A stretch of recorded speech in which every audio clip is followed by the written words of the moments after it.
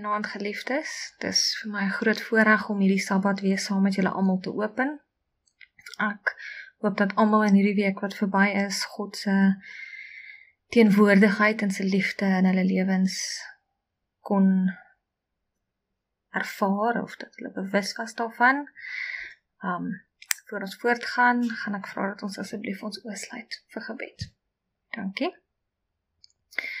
Ons hemelse almagtige Vader, ons kom voor U met dankbare harte. Dankie vir die seën van die Sabbatdag en dat ons 'n tyd het vir rus en vir vernuwing. Vader, gee ons asseblief die wysheid om U wil te verstaan en die moed om dit uit te leef. Vader, ons vra dat U Gees ons asseblief moet lei in elke woord en daad en dat U asseblief nou saam met ons sal wees vir hierdie boodskap wat van U afkom. Ons bid dit in Jesus se naam alleen. Amen. Vandag wil ek hê ons moet bietjie stil staan by die wonder van die natuur en hoe die Sabbat ons uitnooi om nader aan God te kom deur sy skepping te waardeer en te respekteer. Die natuur is 'n tasbare bewys van God se handewerk en dit roep ons om te dink aan ons plek in hierdie groot skepingsplan. so in Genesis 1 vers 1 staan daar in die begin het God die hemel en die aarde geskaap. So elke aspek van die natuur, die hoogste berge tot die diepste oseane, die kleinste blom tot die grootste dier getuig van God se grootheid en van sy kreatiwiteit. en dit is deur die natuur dat ons God se krag en se sorg kan sien. Psalm 19 vers 2 sê die hemele vertel die eer van God. En die uitspansel verkondig die werk van sy hande.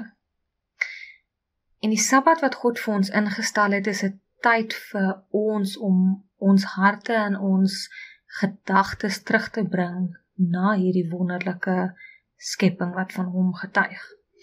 Dit is 'n dag waarop ons ontspan en stil raak en luister na God se stem in die fluistering van die wind of 'n waterstroompie of die liedjies van die voeltjies. Is 'n dag om net die natuur ook te waardeer en te besef hoe ons aan God verbind is. ons kan ook nie help om die perfekte balans en harmonie in die natuur te bewonder nie. Alles in die natuur werk op 'n wonderlike manier saam. In 'n perfekte ritme kan ons God se wysheid raak sien. As ons dink aan iets soos die aurora borealis, algemeen bekend as die noorderligte, is een van die mees asemrowende natuurverskynsels op aarde en vind dan nou plaas wanneer hierdie gelaaide deeltjies van die son die aarde se magnetosfeer tref. en die botsing dan nou van hierdie deeltjies um met die gasse in die in die atmosfeer veroorsaak dan nou hierdie skouspel van bewegende ligte in die lug van geel, groen en pink en pers en dit gebeur gewoonlik by die poolgebiede um waar die magnetiese velde dan nou die sterkste is. Maar hierdie verskynsel herinner ons aan die komplekse en die wonderlike manier waarop die natuur werk en die pragtige skouspel wat dit voortbring soos wat al hierdie elemente in perfekte harmonie saamwerk. Nog 'n mooi voorbeeld is die Blommekaroo of Namakwaland. Dit is een van Suid-Afrika se as asemrowendste natuurverskynsels en is 'n wonder wat elke liewe jaar plaasvind. So gedurende die droë seisoen is hierdie gebied dor en val, maar dan elke jaar na die reën dan verander dit ook in hierdie skouspel van kleure waar miljoene veldblomme dan uit hulle saadstatus uitkom en die hele landskap bedek.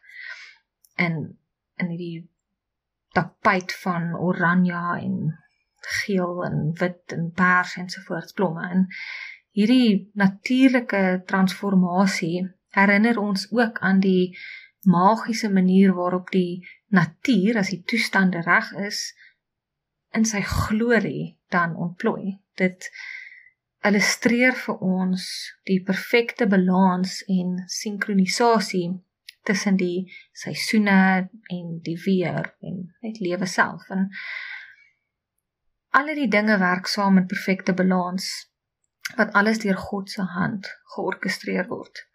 En dit herinner ons aan hoe ons lewens ook in balans moet wees.